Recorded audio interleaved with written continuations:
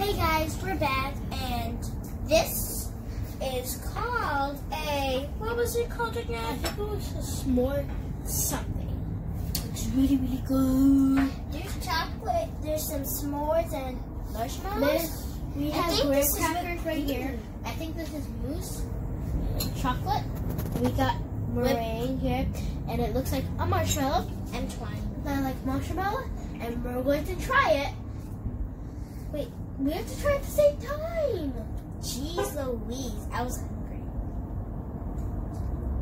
I want to see if this actually does taste like marshmallow. Marshmallow. The waitress said it did.